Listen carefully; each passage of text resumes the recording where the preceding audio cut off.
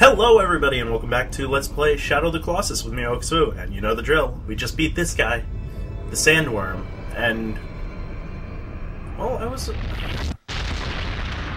I don't know. It was a lot easier than what, what I what I'd come to expect from him, but that was mostly because I finally understood how to control Agro on the horse. Don't have to keep pressing X every time. You don't have to keep him galloping. I don't know why I thought it was like sprinting in GTA 4. but anyway, our next foe. Our next foe is an altar over an altar overlooks the lake. A guardian sets loose, it keeps the flames alive. Anything else? Nothing else? Okay. Well, wonder what that flame spit is about. It couldn't be anything important. Oh, I keep I keep moving the thumbsticks while I'm in the cutscene, and I forget that you can move around the cutscene with that. And of course, very first thing that we have to do.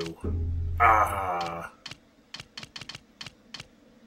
I don't know why it keeps switching back. Whatever. There we go. There, there yeah. I'm, I'm, a lot, I'm a lot better with that. Now let's go get that guy. Now this guy that we're going to be fighting right now is the tiger. And, well, I won't say too much about him right now, except that he's a tiger. Not, we're not going to fight Tiger Woods or something like that, but wonderful thing about tigers is tigers are wonderful things. Their tops are made out of rubber, their bottoms are made out of string. They're bouncy, trancy, fancy, fancy, fun, fun, fun, fun, fun. But the most wonderful thing about tigers is that this is the only one. Actually, no. There's another Colossus that is quite similar to this guy, but a bit more difficult, so I hear. Yes, uh, by the way, this is the last Colossus that I've actually beaten. So the rest of this Let's Play after this episode will be...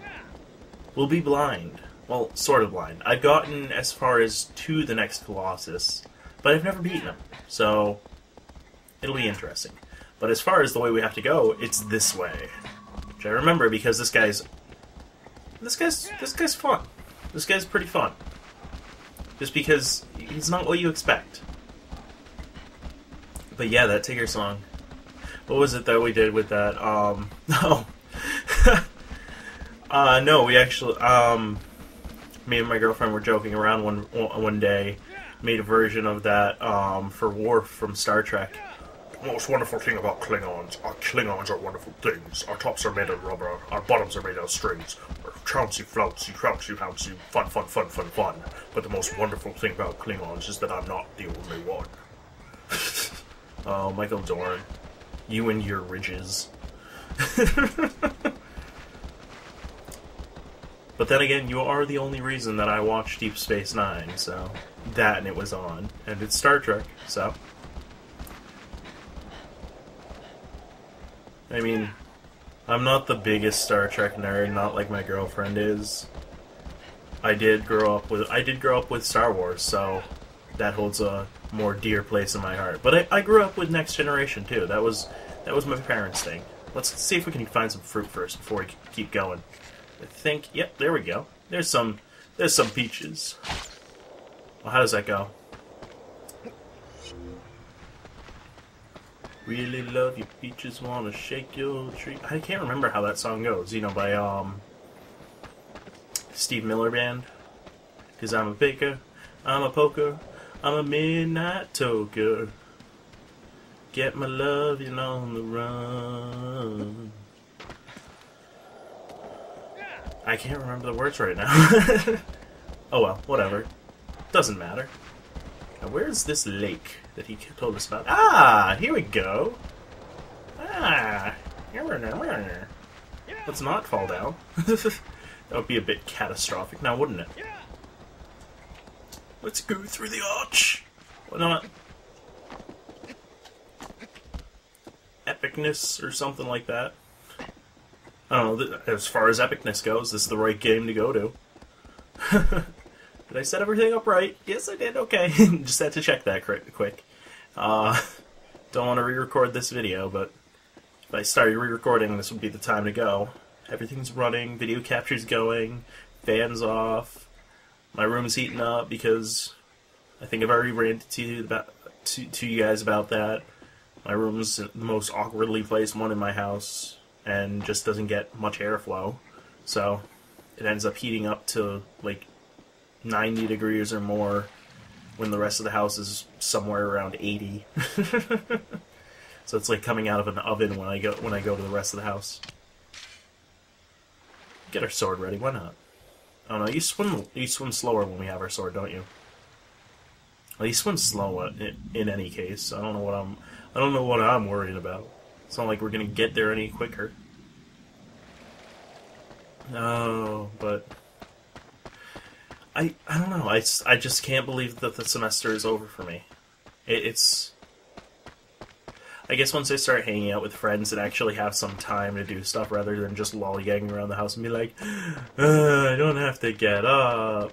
I guess I'll, guess I'll I guess I'll start to realize that oh hey the summer actually is over. and I don't think we have to go over there. But I mean, not the summer is over. School actually is over. then I'll start actually working on my projects. Website design, and working on that panel for Magical Matica. And, oh, oh, I don't think I told you about, guys about this. I am planning a ROM hack for Pokemon, which, yeah, I know that's a, that's not a normal thing, but it's not, I mean, oh, what am I talking about? That's not an impressive thing, because everybody, oh, do we have to get grab on there? Because everybody does it everybody makes their own little ROM hack where you can catch the legendaries right in the beginning of the game, or you can get uh, Charmander, Squirtle, and Bulbasaur out in the wild or whatnot. But you know what? I'm not doing it for that. I'm not doing it to make it a cooler game. I'm doing it to make a story for it. Because I don't know. Ever ever since I was like a little kid, like an eight-year-old, watching. Oh, there we go. I'll continue this in a second because we are about to find out our Colossus. This guy. The tiger, rhino, elephant thing.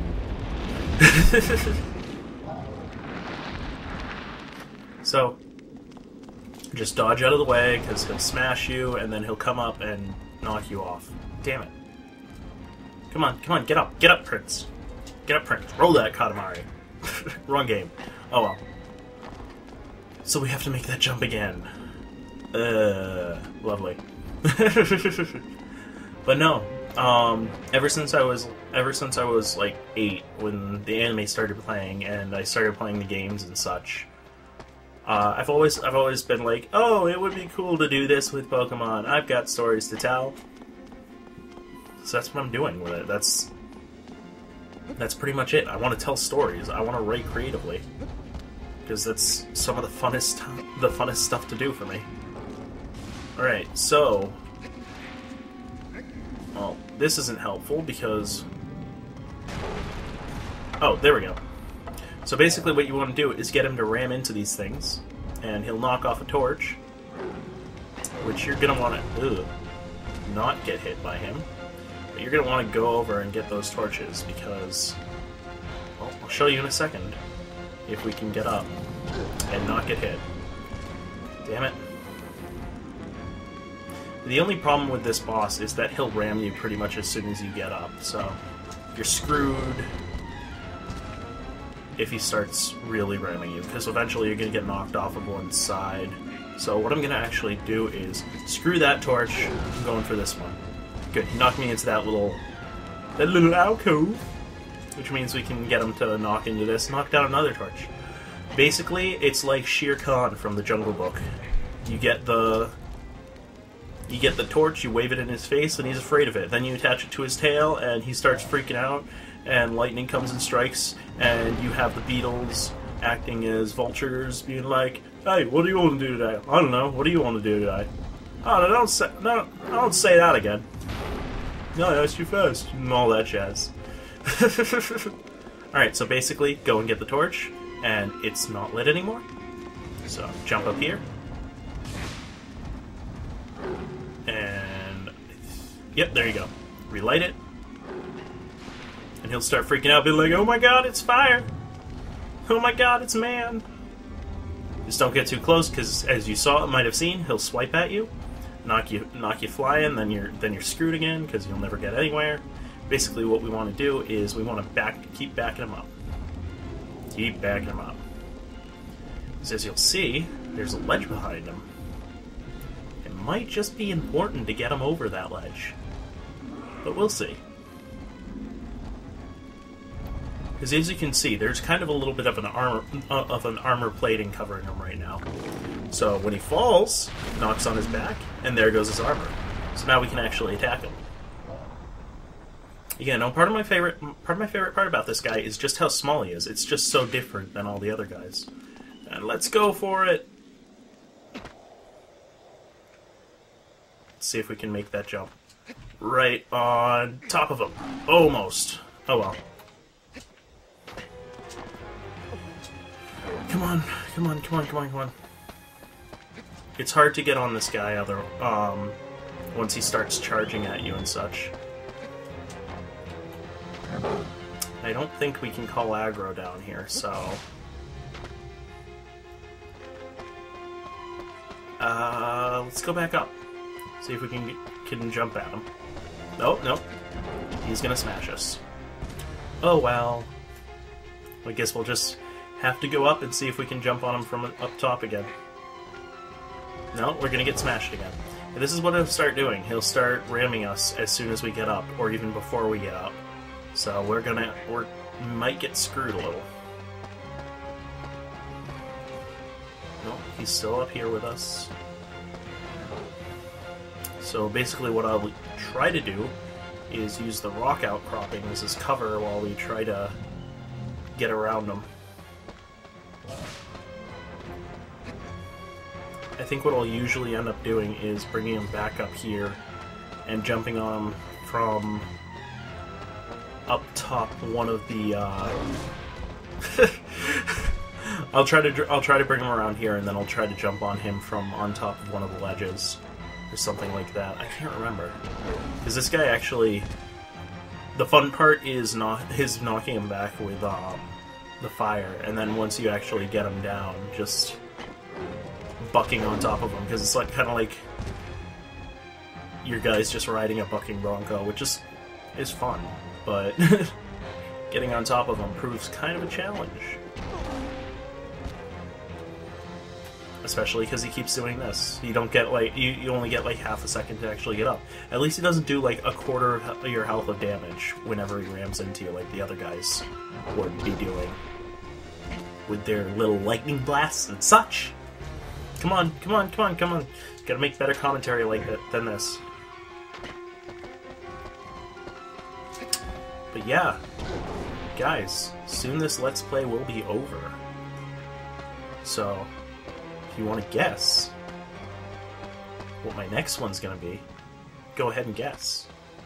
Because I, I already I already know what, what, what my next game is gonna be that I'm gonna Let's Play.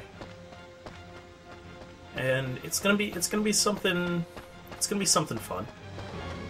It's gonna be something pretty fun. And maybe if we shoot him with the well, maybe if we don't get freaking hit. Well, there we go. That was useless. that was easy.